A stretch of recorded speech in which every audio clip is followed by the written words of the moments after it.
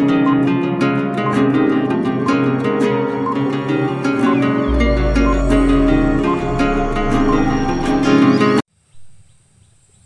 mừng các bạn đã quay trở lại với kênh của Đức Thân Nguyễn Dương. Chúc các bạn xem kênh vui vẻ, hạnh phúc và bình an.